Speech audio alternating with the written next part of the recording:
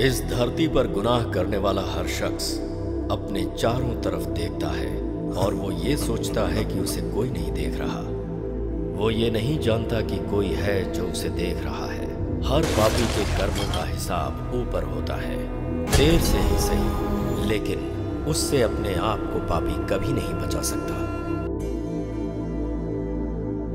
माफ़ी गलतियों की होती है, गुनाहों की नहीं, यही सृष्टि का नियम है।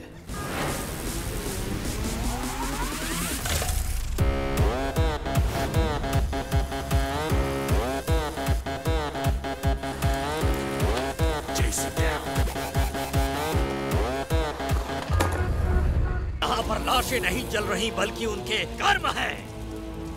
शिवम शिवम शिवम शिवम